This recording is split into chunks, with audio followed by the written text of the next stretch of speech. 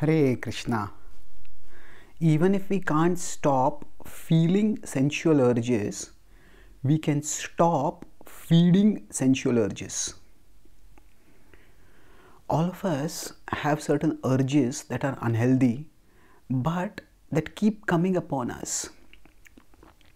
Say, we might feel lusty, greedy, angry, we might have the urge to overeat, to oversleep, whatever. Now, when such urges come upon us, and if we have some intelligence, some conscience with us, then we recognize I don't want these urges. And yet they keep coming upon us. And we might become disheartened by that. Oh, why is this happening? I don't want to feel this way. Why am I feeling this way?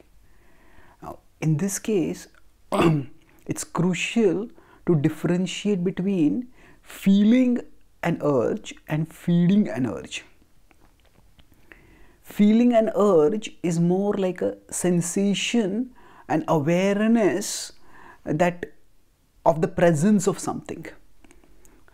Whereas feeding an urge means action to fan and strengthen and nourish that so that it grows into intentions and actions.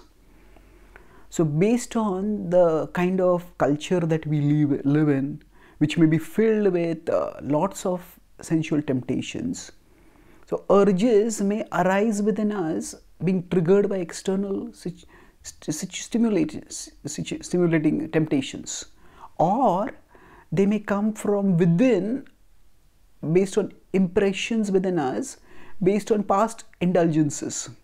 But either way, because we can't immediately change our external situations or change our internal impressions, we can't, we may not be able to stop feeding, feeling sensual urges. But what we can do is stop feeding them.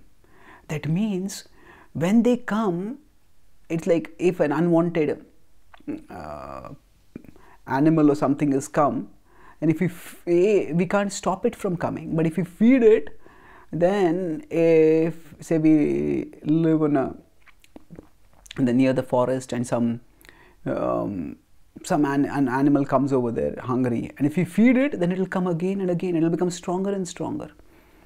So similarly if we feed it that means when the urge comes we contemplate it.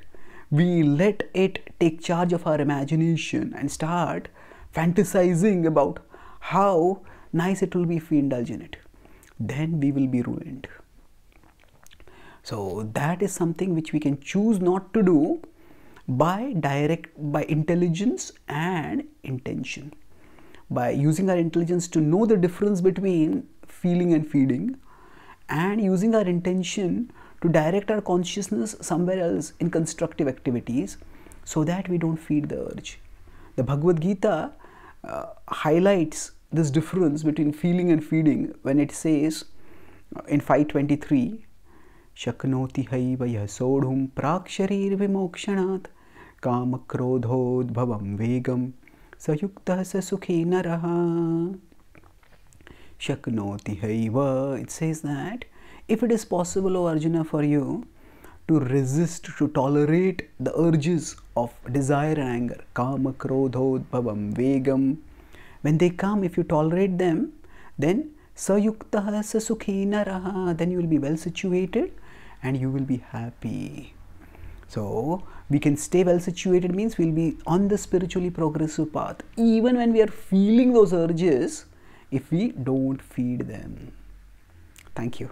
Hare krishna